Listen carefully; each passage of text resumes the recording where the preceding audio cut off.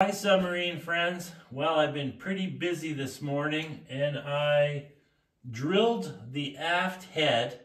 I had to drill four holes an inch and three eighths, which is no small feat, but I've got those hole saws and I make a guide and it's actually not that bad. The difficult part was I had to climb up inside the rear ballast tank. So I have this this belly pan that has four bolts holding it on and I removed that with a floor jack. Then I had to jack up the submarine so I could slide in there. And uh, luckily that back ballast tank is really huge, so lots of room for me in there, but you know, it's the old story, when you crawl into a space, for sure you forgot a tool. So I did that about three times. So anyways, I got it drilled, and I welded in those bushings and now I'm running my hydraulic lines.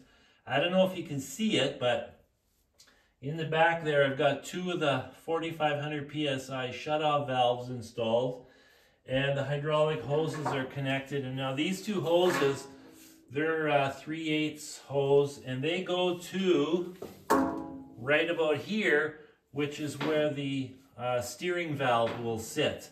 It'll be mounted on top of the variable ballast tank, which is right here. And you can see this, the throttle and shifter is in and all hooked up. So I'm really lucky. One of the reasons I wanted to go with hydraulic drive is because I have all the stuff. So I have lots and lots of hoses left over from projects over the years and they really have very low hours on them so they'll work just fine. So these are the steering lines and then the two below that are not in yet because I need fittings. I'm short on number eight fittings. I got lots of number six, but not number eight. And that goes to the valve on the hydraulic pump. This pump is nice because it's a pump, reservoir, and valve all in one. And this cable right here, which needs to have clamps on it to secure it, but that's connected here to, to the to the shifter and it's all hooked up and working. Works really good. So that's what I did today.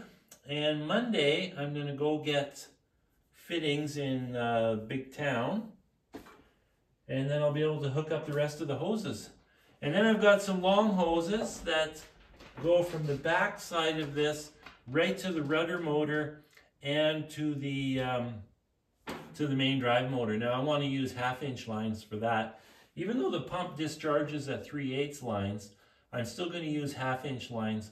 I don't want any losses or I want to minimize my losses in the hydraulic hoses.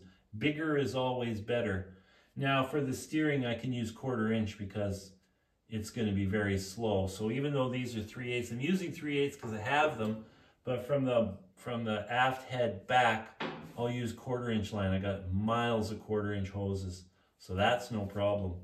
I'm just short on fittings. But Monday that'll change. Then it's on to the exhaust system. And I've made some design improvements on the exhaust system, which is going to speed up the build and I think will just make it better. Anyways, that's for the next video. Ciao.